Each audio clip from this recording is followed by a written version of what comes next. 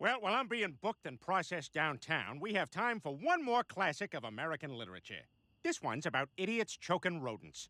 I give you Of Mice and Men. Read him his rights. You know what? I'd like to read read 'em myself. Chapter 1 Eat my ass, pigs. ah, the bones in my nose!